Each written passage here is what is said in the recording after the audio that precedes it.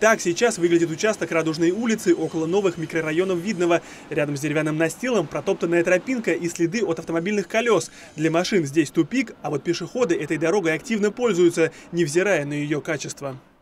Многие доски очень узкие, в щель между ними легко проваливается нога. Материал не приспособлен для дорог, он гниет, трескается, кое-где торчат обломки.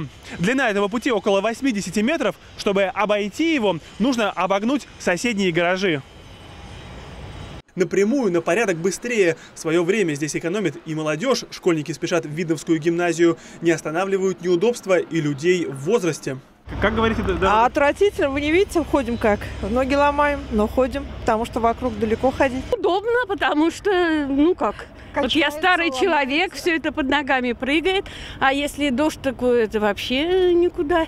Приходится все-таки обходить все кругами. Это вообще не дорога. Как вы считаете, если вот, допустим, не погода, разве я смогу здесь пройти? Нет, конечно.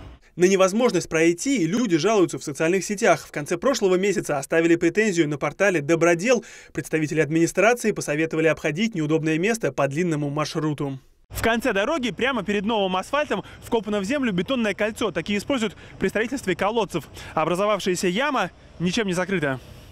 Неудобства начались зимой, когда дорогу перекрыла стройка. Новые тротуары вместо импровизированных мостиков из хлипких досок появятся здесь, когда закончат строительство жилых комплексов. Ждать осталось несколько месяцев.